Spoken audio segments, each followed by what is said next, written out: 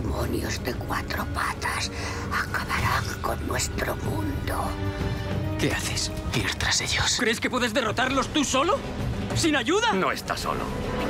Acabaremos con ellos. El momento de que se cumpla la profecía ha llegado. 10.000. El viernes a las 10, Gran Cine en Canal Extremadura.